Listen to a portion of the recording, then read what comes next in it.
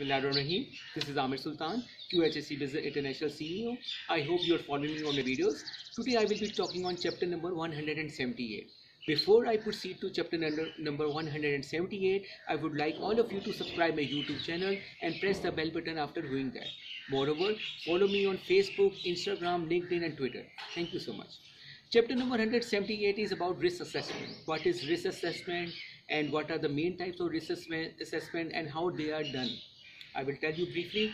Uh, there are basically a, a, a, few types of risk assessment which are very important, like HSE risk assessment, which is related to health, safety, and environment, and quality risk assessment, which is related to the quality uh, aspects. Uh, now, uh, first of all, I will tell you about the uh, HSE risk assessment. HSE risk assessment is about the any ambiguity uh, uh, arising in the organization relating to health and safety and environment. For example, in an organization, there is a furnace operating and the uh, furnaces are giving a lot of smoke to the um, air. So what's what is the hazard here?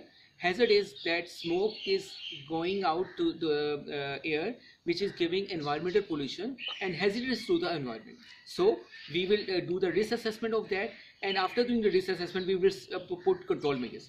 How the risk assessment will be done? For example we will uh, have a probability and severity uh, um, uh, uh, uh matrix likelihood and severity uh, matrix which which has which has points values which are put into the matrix detail about the likelihood and severity with from the low hazard to the minor, high hazard and low injury to high injury when these values are catered on for that furnace uh, example I told you, these are put into the matrix, we will get the value of the hazard, what type of the hazard is it? Is it low hazard, medium hazard or high hazard? So each for each level of hazard, we will put the control measures according to that. For example, for this example which I have told you, we will put uh, measures like that we will have a, a proper filtration system for that furnace we will have a um, uh, recognized uh, certifying company to check the standard of that uh, uh, smoke on regular basis. We will have competent persons to do that. We will have trainings to for the people to check and verify that. We will have um, a lot of um, uh, safety instructions related to environment over there. We have a lot of safety signs related to environment placed down over there and there are many things which will do for that uh, thing to which has come to that for example it comes out a high level hazard to make it to a medium level hazard and then we will put again control measures to change it to from medium level hazard to low level hazard and then ev eventually to finish that hazard. Now I will uh, come up to the quality risk assessment.